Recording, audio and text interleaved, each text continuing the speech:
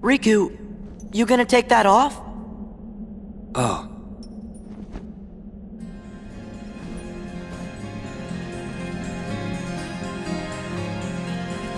What was that? His eyes couldn't lie.